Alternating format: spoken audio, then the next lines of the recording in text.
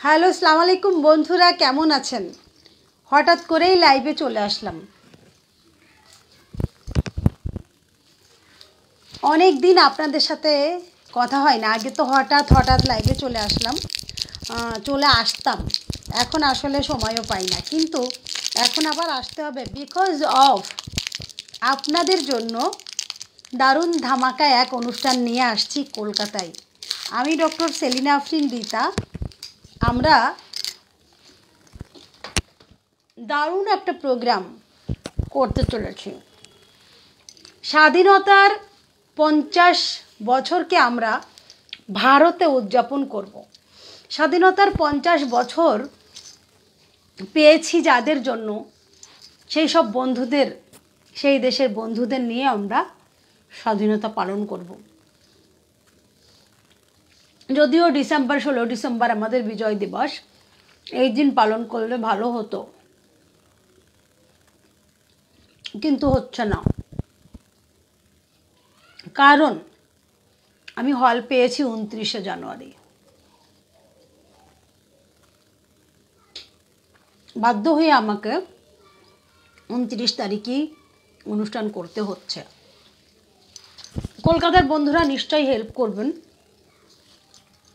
ইতিমধ্যে সবাই করেছেন, যারা যারা আমার পাশে ছিলেন, সত্যি আমি করজোড়ে তাদের কাছে বলছি, আমি অনেক অনেক হ্যাপি এবং অনেক অনেক কৃতজ্ঞ তোমাদের কাছে। তোমরা আমার সাথে ছিলে, আছো, থাকবে আমি জানি। সারাদিন অনেক অনেক অনেক কাজ করেছি। চা, বিস্কিট খেয়ে থাকি, বেলা ছোট, খাই না, মোটা হয়ে যাচ্ছে। চকলেট খাই প্রচুর পরিমাণে। চকলেট ছাড়া কিচ্ছু ভালো লাগে না।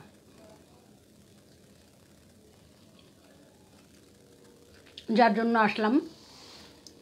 বাংলাদেশের শিল্পীরা গান করবে। বাংলাদেশের শিল্পীরা ডান্স করবে। বাংলাদেশের শিল্পীরা সেমিনার করবে। সবই আমরা করব আপনাদের ওখানে। আপনারা আসবেন। আসছে উনত্রিশ জানুয়ারি দুই হাজার তেইশ, যাদবপুর বিশ্ববিদ্যালয়ের ডক্টর ত্রিগুণা সেন হলে। কাউকে কাউকে অবশ্যই আমরা আমাদের অনুষ্ঠানে পারফর্ম করতে সুযোগ দেব। তবে বাংলাদেশের মানুষের প্রাণের দাবি যে দেশের অনুষ্ঠান আমরাই করব, ওরা যখন এখানে আসবে তখন ওদের সুযোগ দেব। তখন ওদের বাংলাদেশে এনে অনুষ্ঠান করাবো। কিন্তু যেহেতু আমরা সমস্ত টোটাল আমাদের একটা বিশেষ সেমিনার পঞ্চাশ বছর পালন করতে যাচ্ছি, ওরা সাহায্য করেছে, সেজন্য আমরা আগে পারফর্ম করব। আমরা আগে আমাদের সব কিছু করব। আমরা ছ ঘণ্টা সময় নিয়েছি। তার ভিতরে দশজন মুক্তিযোদ্ধাকে, দশজন ডাক্তারকে সম্মাননা প্রদান। দশজন গুণীজনকে সম্মাননা প্রদান এবং স্বাধীনতার পঞ্চাশ বছর কীভাবে পেলাম, কীভাবে কাটালাম, কি পেলাম? বঙ্গবন্ধু ভারতের তৎকালীন প্রধানমন্ত্রী ইন্দিরা গান্ধী ভারতের সহযোগিতায় নয় মাসে মুক্তিযুদ্ধে বাংলাদেশের স্বাধীনতা অর্জন এবং এই যে মাননীয় প্রধানমন্ত্রী বঙ্গবন্ধুর সুযোগ্য কন্যা শেখ হাসিনার নেতৃত্বে চোদ্দ বছর আমরা এই যে অতিক্রম করছি, এই চোদ্দ বছরের অর্জন, উন্নয়ন। কারণ চোদ্দ বছরে মাননীয় প্রধানমন্ত্রী বাংলাদেশকে কোথায় নিয়ে গিয়েছেন? বঙ্গবন্ধু দিয়েছেন দেশ, আর কন্যা দিয়েছেন আমাদের কি সম্ভ্রম বলতে পারি। বঙ্গবন্ধু দেশ স্বাধীন করে নাইনটিন সেভেন্টি ফাইভে সপরিবারে ঘাতকদের হাতে মৃত্যুবরণ করেন। কোনো প্রতিশ্রুতি তিনি রক্ষা করে শেষ করে যেতে পারেননি। কারণ আমরা জানি এদেশের পরাশক্তি কখনো স্বাধীনতা চায়নি। কখনোই না। তারা সবসময় চেয়েছে, এই দেশটা পাকিস্তানি থেকে যাক। এবং এই দেশটা যদি স্বাধীন না হতো, বিশ্বাস করেন আমার বাবারা, চাচারা পরিচিতরা, মুক্তিযোদ্ধারা যারা দেশ স্বাধীন করেছিলেন, তাদেরকে দেশ স্বাধীন কেন করতে গিয়েছিল সেই জন্য সেই জন্য তাদের হয়তো ফাঁসিও দিতে পারতো। অথচ বঙ্গবন্ধু শেখ মুজিবুর রহমান সেই দেশ স্বাধীনের পরে রাজাকারদের সাধারণ ক্ষমা করে দিয়েছিলেন। তাদের কিছু বলেননি। আর যার সেই যে ক্ষমা, উদারতা, সেইটা আমরা এই পঞ্চাশ বছরে ভোগ করছি তিলে তিলে। সেই সাপ, কাল সাপ, তাদের বংশ বিস্তার করেছে, তাদের সংখ্যা অনেক বড় হয়েছে, তারা শক্তিশালী হয়েছে, তারা এখন মুক্তিযুদ্ধের পক্ষের শক্তি, স্বাধীনতার পক্ষের শক্তি যারা আছেন, তাদেরকে পদে পদে ঠোকর দিচ্ছেন। তখন যদি যুদ্ধ অপরাধীদের বিচার করে যেতেন জাতির পিতা। তাইলে আজকের এই দিন আমাদের কারও দেখতে হতো না। স্বাধীন পঁচাত্তরের পরে মুক্তিযোদ্ধারা বলতে পারেনি তারা মুক্তিযোদ্ধা। প্রেসিডেন্ট জিয়ার সময় উনিশ বার কু করেছিল। মুক্তিযোদ্ধাদের ধরে ধরে ফাঁসি দিয়েছিল। মুক্তি যোদ্ধা এ কথা বলার সাহস ছিল না কারোর। অথচ দেশের শ্রেষ্ঠ সূর্য সন্তান যাদের জন্য বাংলাদেশ পেয়েছি, স্বাধীনতা পেয়েছি, বিশ্ব মানচিত্রে একটা নির্দিষ্ট ভূখণ্ড পেয়েছি, বাঙালি হিসেবে পরিচয় দিতে পারি। সবার আগে শ্রদ্ধা জানাই প্রাণ ভরে আমি জাতির পিতা বঙ্গবন্ধু শেখ মুজিবুর রহমানকে। তারপর শ্রদ্ধা জানাই তিরিশ লক্ষ শহীদকে। তারপর শ্রদ্ধা জানাই দুই লক্ষ মা বোন যারা সেদিন সম্ভ্রম না দিলে হয়তো আজকের স্বাধীনতা পেতাম না। এখানে দাঁড়িয়ে বা এখানে বসে কথা বলতে পারতাম না। সেই বীরঙ্গনাদের নিয়ে কাজ করছি ছোটবেলা থেকে। স্বাধীনতা কি এটা বুঝতে চেষ্টা করি।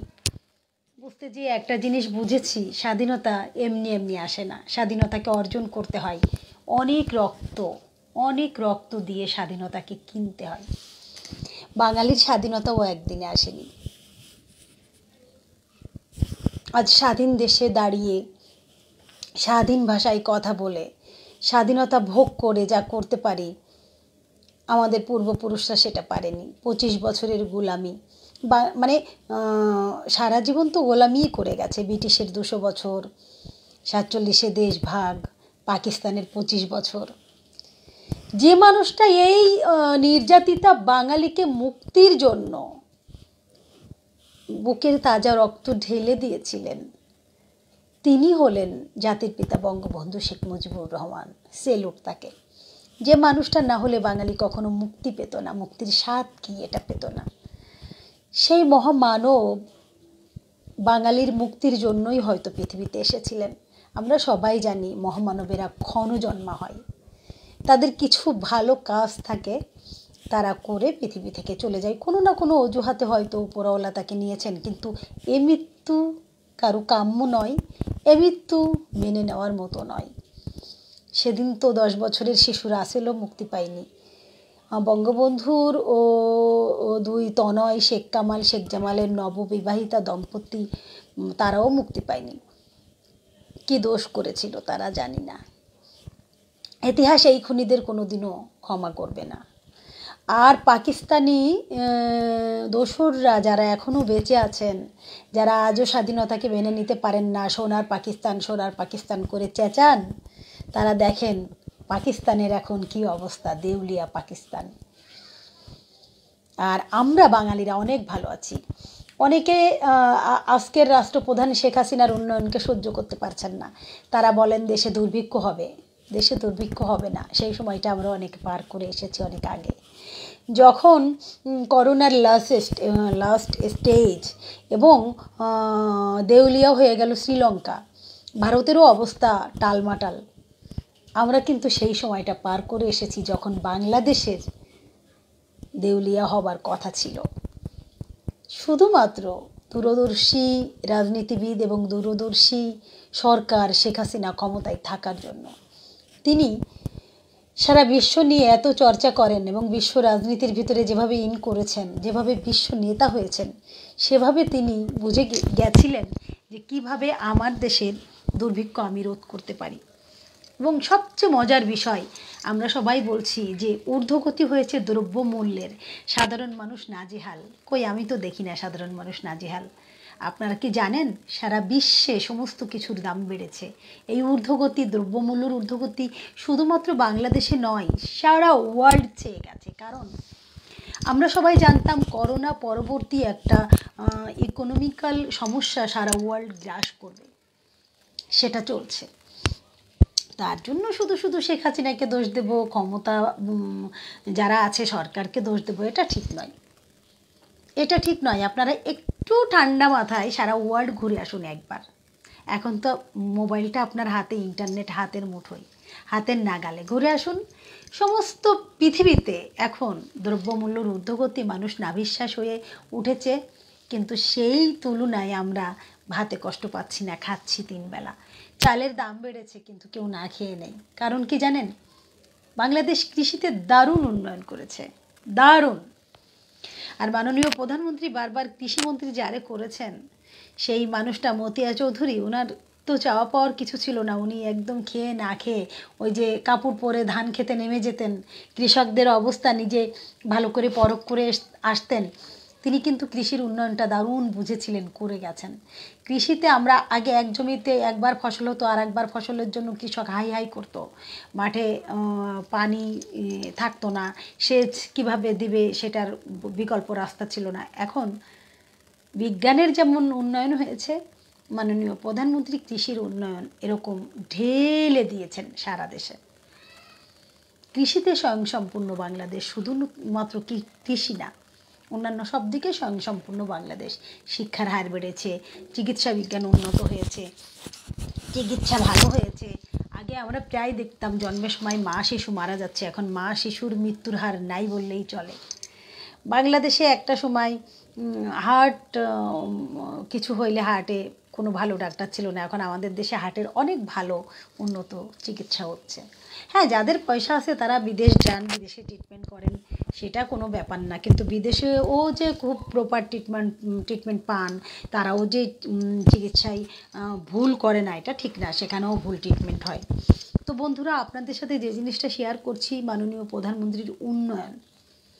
সত্যি উন্নয়ন হয়েছে। খালি চোখে হয়তো দেখা যায় না একটু দেখুন, এক পদ্মা সেতুর কথা আমি বলব না। একটা পদ্মা সেতু না, এরকম হাজার হাজার সেতু হয়েছে দেশে। কর্ণফুলি টানেল হচ্ছে এবং নতুন এয়ারপোর্ট হচ্ছে, রাস্তাঘাটের উন্নয়ন হয়েছে, মানুষের দৈনন্দিন চাহিদা যেমন বেড়েছে, কাজের অগ্রগতি বেড়েছে, মানুষের বেকারত্ব কিছুটা হলেও দূর হয়েছে, শিক্ষার পরিবেশ ভালো হয়েছে, শিক্ষার পরিবেশ সুগম হয়েছে, বেকারত্ব দূর হয়েছে, অনেক কাজ হয়েছে, হয়তো আমরা স্বীকার করি না। হয়তো আমরা স্বীকার করি না। খালি চোখে হয়তো অনেক কিছু দেখা যায় না, তাই জন্য বলছি। তো আমরা কলকাতাতে মাননীয় প্রধানমন্ত্রীর চোদ্দ বছরের উন্নয়নকে ভালোবেসে যদি নাও হয়, সত্যি, ইতিহাস তো সত্যি, সত্যিটা আমরা স্বীকার করব। দেখেন, আমি বেসিক্যালি ওইভাবে কোনো পলিটিক্স করি না পলিটিক্সের সাথে নেই। পলিটিক্যাল ফ্যামিলিতে আমার জন্ম। আমার বাবা রাজনীতি করতেন ভাই বোনেরা সবাই রাজনীতি করে। আমি সাপোর্ট করি বাট আমি না এই গভর্নমেন্টের উন্নয়নটাকে দেখতে পারছি। একদম দেখতে পারছি যে নারীর যে ঘর থেকে বাইরে বেরোনো, নারীর যে সম্মান মানে নারীর যে অবস্থান, সেটা এই মাননীয় প্রধানমন্ত্রী তৈরি করে দিয়েছেন। কি পরিমাণে নারী নির্যাতন হতো সেটা বন্ধ হয়েছে। নারীর অধিকারই নারী বুঝতো না। এখন কিন্তু নারী অনেক সচেতন। কারণ শিক্ষার হার মানে বেড়েছে, শিক্ষার হার উন্নয়ন হয়েছে। শিক্ষা সেক্টরটাই নানাভাবে ঢেলে সাজিয়ে শিক্ষাকে সারা বিশ্বে ছড়িয়ে দিয়েছে।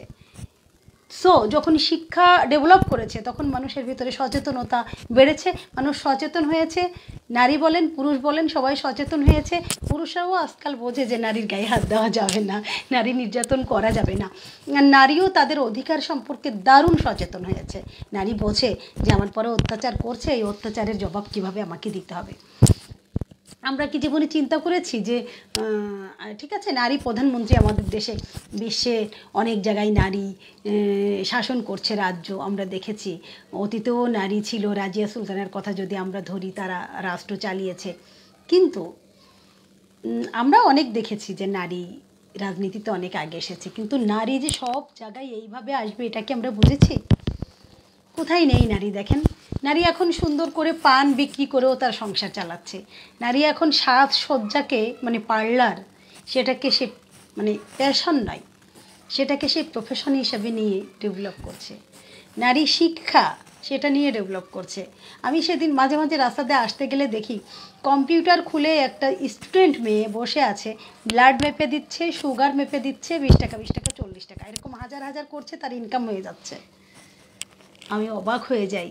কোনোদিনও ভাবিনি যে একটা নারী ফুল সচিব হবে, পুলিশের এসপি হবে, পুলিশের আরও উপরের ঊর্ধ্বতন কর্মচারী, কর্মকর্তা হবেন। এখন দেখছি, জীবনে চিন্তা করিনি একটা পুলিশ মহিলা হয়ে এসে সিগন্যালে কাজ করবে। আই মিন ট্রাফিক হবে। মহিলা এখন ট্রাফিকের দায়িত্ব পালন করছে। মহিলা এখন সার্জেন্ট হচ্ছে। মহিলা এখন পুলিশের দারুণ ভালো করছে। বিমান বাহিনী থেকে শুরু করে নৌবাহিনী, পুলিশ বাহিনী, সমস্ত জায়গায় নারীর জয় জয়কার কাণ্ড। তো অবাক হয়ে যাই, নারীর যে এত উন্নয়ন সেটাও কিন্তু মাননীয় প্রধানমন্ত্রী করেছেন। আমি জানি না আমার সাথে আপনারা একমত হবেন কি না হয়তো যারা আমাকে অপছন্দ করেন বা মাননীয় প্রধানমন্ত্রীকে অপছন্দ করেন, তারা দারুণভাবে আমাকে দু চারটে গালিও দিতে ছাড়বেন না। কিন্তু বিশ্বাস করেন, দেশের উন্নয়ন হয়েছে।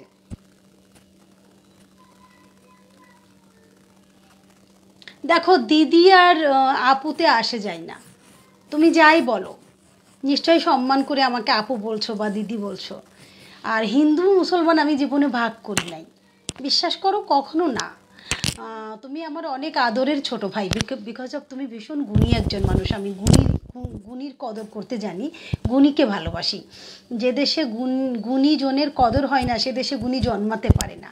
তো তোমাকে সেলুট, প্রতীক সবুজ, তুমি একজন ভালো সংগঠক, একজন ভালো সিঙ্গার তো তোমার ভেতরে যদি এই জিনিসটা পাই, কলকাতার টানে কথা আপু বলা যাবে না, দিদি বলা যাবে, মেনে নিতে পারলাম না ভাই। আমি যেমন মানুষে মানুষে তফাত করে দেখি না কখনো, ধর্মে তফাত করি না, ধর্মের হানাহানি বুঝি না, তেমন জল আর পানি এটাও আলাদা করতে কখনো শিখি নাই। জল, পানি, এক। তুমি জল আর পানি দুই জায়গায় নিয়ে এক জায়গায় ঢালো, দেখবে জল এটা পানি এটা, আবার এটা জল, এটা পানি এটা পানি, এটা জল সেম তো যা খুশি তাই বলো, ওতে আমার আসবে যাবে না। আমি বুঝতে চাই, মানুষে মানুষে ভেদাভেদ থাকবে না। ধর্মীয় যুদ্ধ বন্ধ হবে। প্রত্যেকটা মানুষ প্রত্যেকটা ধর্মকে সম্মান করবে আর নারীকে সম্মান করবে। নারী মায়ের জাত, নারী যেমনই হোক সম্মান করুন। দেখেন, নারী আমাদের তো পুরুষ শাসিত সমাজ, নারী যত গুণবতী হোক, যত পারদর্শী হোক, যত ধারালো হোক, যত গুণী হোক, প্রত্যেকটা স্টেপে স্টেপে নারীকে প্রমাণ করতে হয় যে আমি নারী, আমি পারি। নারীকে পরীক্ষা দিয়ে তার নারীত্ব না, পরীক্ষা দিয়ে তার গুণটাকে প্রুভ করতে হয়। এটা কঠিন একটা ব্যাপার। আমি যখন ডাক্তারদের ইন্টারভিউ করি, আমি যখন বড় বড় ঊর্ধ্বতন কর্মকর্তা কর্মচারীদের ইন্টারভিউ করি, তারা তখন বলে যে প্রত্যেকটা স্টেপে স্টেপে পরীক্ষা দিয়ে আসতে হয়। কি? আমার গুণ যে আমি পারি। আমি নারী, আমাকে অবহেলা করো না, আমি পারি। কিন্তু পরীক্ষা কেন দিতে হবে? তুমি একজন পুরুষ, যে বই পড়ে তুমি ডিগ্রি অর্জন করেছ, ওই জায়গায় গিয়েছো। আমি নারী, আমি ঠিক সেম বইটা পড়ে সেম কাজ করে সেম এক্সাম দিয়ে সেম জ্ঞান অর্জন করে ওই জায়গাটায় এসেছি। তাহলে তুমি পুরুষ, তোমাকে পরীক্ষা দিতে হবে না, আমাকে কেন পরীক্ষা দিতে হবে? বলো। তো এই ভেদাভেদটা যখন থাকবে না সমাজ থেকে, তখনই একটা জাতি দেখবা এগিয়ে গেছে।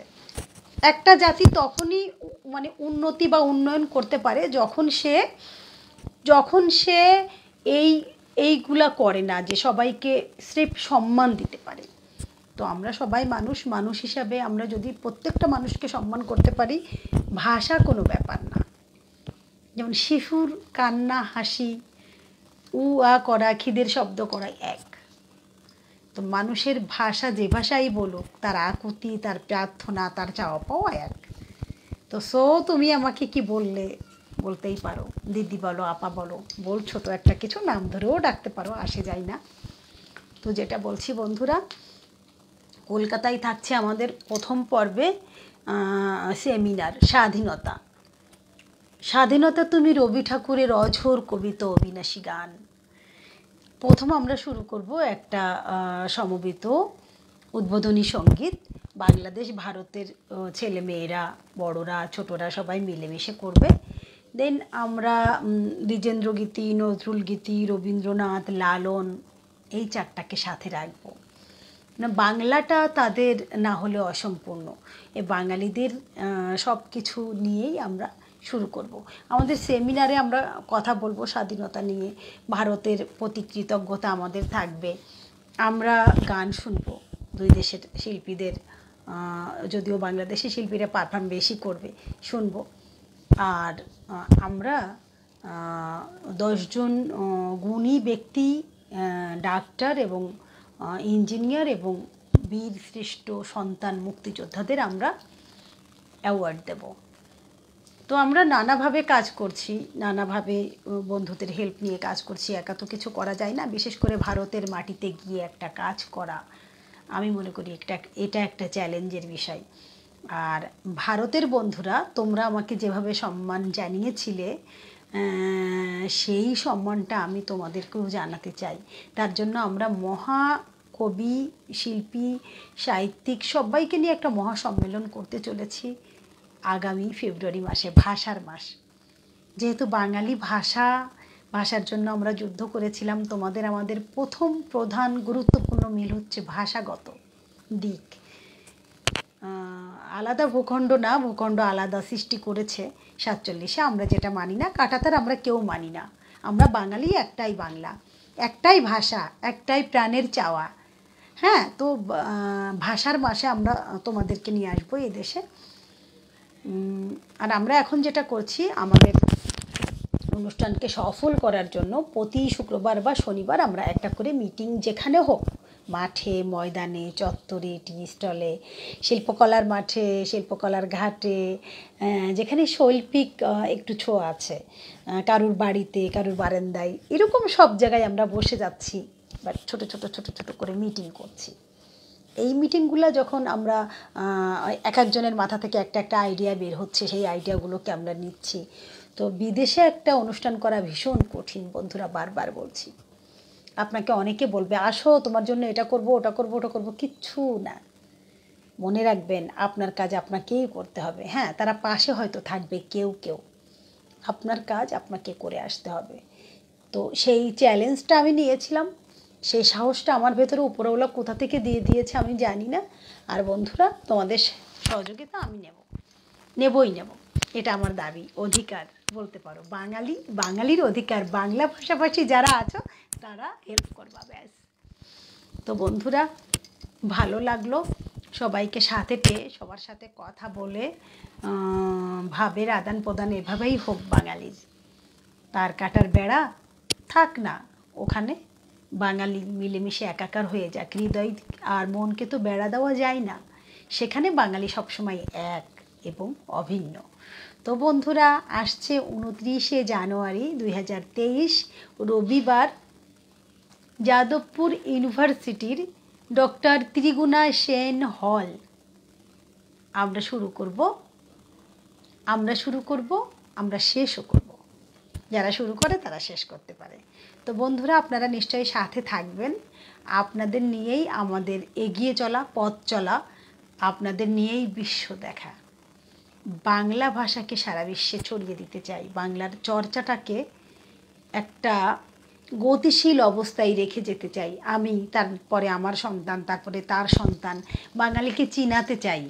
ইংলিশ মিডিয়ামে যতই পড়ো বাংলা অসম্পূর্ণ থেকে যাই রবীন্দ্রনাথ বঙ্কিমচন্দ্র শরৎচন্দ্র আহ, জওহরলাল নেহেরু ডক্টর অমর্ত্য সেন রবীন্দ্রনাথ নজরুল সুকান্ত লালন ছাড়া বাংলা অসম্পূর্ণ থেকে যায়।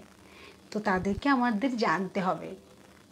তাদেরকে জানতে হবে। বাঙালির ইতিহাস যদি জানতে চান, মুক্তিযুদ্ধকে জানতে হবে, স্বাধীনতাকে জানতে হবে, বঙ্গবন্ধুকে জানতে হবে। যারা এক আঙ্গুলের ইশারায় সাড়ে সাত কোটি বাঙালি একত্রিত হয়েছিল। তো বাঙালির ইতিহাসকে জানব, বাঙালির ইতিহাসকে ছড়িয়ে দিতে চেষ্টা করব। সারা বিশ্বে সারা বিশ্বে বাংলাদেশকে তুলে ধরবো, বাংলাদেশকে ভালোবাসবো। প্রত্যেকটা মানুষের, প্রত্যেকটা নাগরিকের দেশের প্রতি কিছু না কিছু দায়িত্ব থেকে যায় যে যেখানে আছেন, যে যেভাবে পারেন, সেভাবেই তার দায়িত্বটুকু যদি পালন করতে পারেন, তাহলে আমি মনে করি এই দেশটা এগিয়ে গেল। এই দেশকে এগিয়ে নেওয়ার দায়িত্ব শুধুমাত্র সরকারের নয়, কারণ আমি আপনিও দেশের নাগরিক। সচেতন হন, তারা অসচেতন যে আছে তাকে বোঝান, যে অসচেতন তার ভেতরে দেশপ্রেম শিখান, শিক্ষা দিন। তো দেশের টানে যদি আমরা সবাই এক জায়গায় হতে পারি, একত্রিত হতে পারি, যেমন উনিশশো একাত্তর সালে হয়েছিল আমাদের পূর্বপুরুষেরা, তেমন আমরাও যদি আর একবার হতে পারি, তাহলে আমার ভীষণ ভালো লাগবে, নিশ্চয়ই আপনাদেরও ভালো লাগবে। পাশে আছি, পাশে থাকব, দুই বাংলা এক হয়ে অনুষ্ঠান করব। আজকের মতো এখানে শেষ করছি। নেক্সটে আবারও কোনো লাইভে আমি এভাবে চলে আসব। আমার জন্য দোয়া করবেন, আমার একটাই চাওয়া, আমার অনুষ্ঠানটা আমাদের বাঙালির অনুষ্ঠানটা আমাদের স্বাধীনতার অনুষ্ঠানটা যেন সফল হয়। সেলুট সবাইকে শুভরাত্রি।